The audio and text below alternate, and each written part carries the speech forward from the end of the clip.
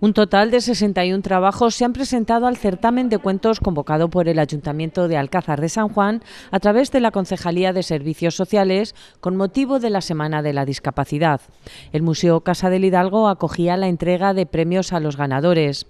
El primer clasificado fue Jesús Úbeda Monreal del Colegio Nuestra Señora de la Trinidad por su cuento Los Detectives y el caso del robo del banco y en segundo lugar Pablo Reguillo Herrera del Colegio Pablo Ruiz Picasso por el cuento titulado Soy capaz y lo sabes.